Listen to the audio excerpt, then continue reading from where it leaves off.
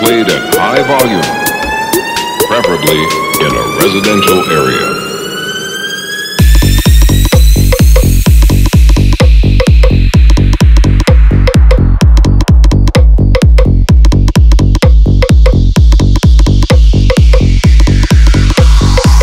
In a residential area.